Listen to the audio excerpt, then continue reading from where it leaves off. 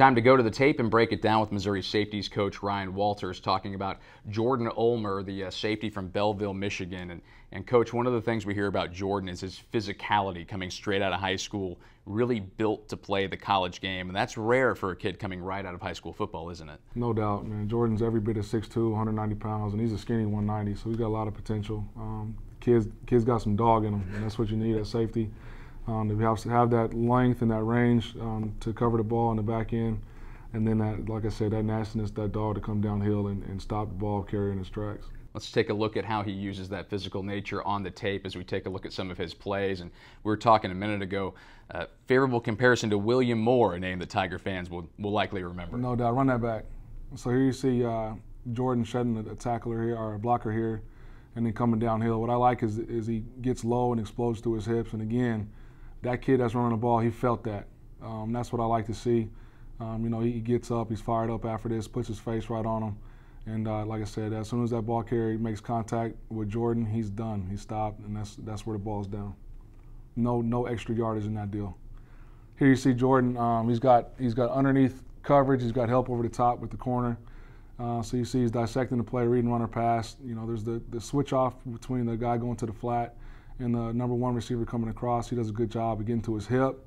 And then here's where the ball skills come into place. So he flips his hips, and again, that's hard to do at 6'2". Um, locates the ball while it's in the air, and now you get up uh, an impact, game-changing play, securing the ball. And then, like I said, he's a competitor. He got dog in him. It's going to take a little bit to get him down. He's trying to get extra yards uh, put his offense in position to go score. Important thing to remember for safeties, we see the hitting, but we also see, as you mentioned, the ball skills. These are players that have to have a, a number of different responsibilities and, and, and really be athletic to pull all these types of plays off. No doubt, and he's got it. I mean, he's a, a, a basketball player as well.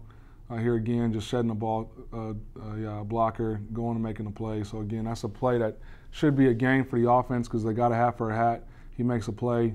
Um, you know, he's got he's supposed to have uh, contained, but he knows he can get contained by going inside, um, shaking the lesser athlete at the uh, offensive line position, and then making a tackle. We're getting that second down, so now we're looking at third and long. Let's go.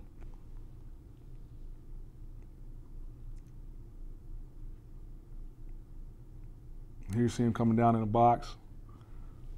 So again, he's got outside contain, uh, doesn't let the ball get outside of him, chases it down. That's third down. We stopping the ball. They, they got a punt, so we're off the field. This is a, a good play, hustle play, understanding his leverage, understanding his responsibility, and again, whenever he's making contact, uh, that ball carrier is not getting any extra yards. When you look at a dynamic playmaker like Jordan and you see the way he uses, you know, that frame, that body that he has to the best of his ability, that's got to that's got to ring a bell for you as a coach, saying that that's something I can really work with. oh, it? no doubt. And our kid comes from a great family. I mean, dad works at the plant, mom's a nurse, um, so they understand hard work. You know, and that's what I love about these kids, the Michigan kids, the Detroit kids. Um, you know, they're they're blue collar.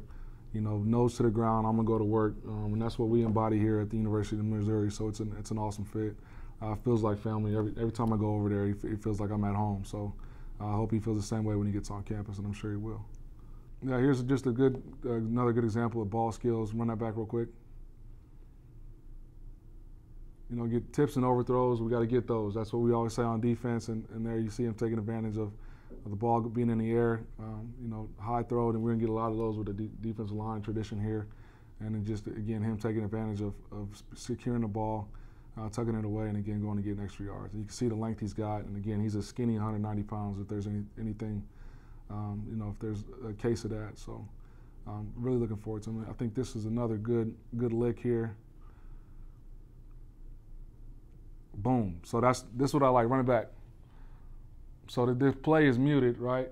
There's no volume on the screen, but you hear that hit. That's where you know you getting. That's how you know you got a physical player.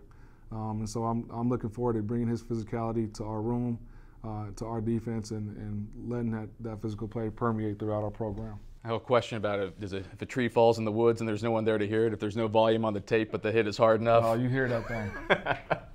All right, Ryan, we appreciate it. Thanks for giving us some insight yeah, on Jordan Ulmer. No problem.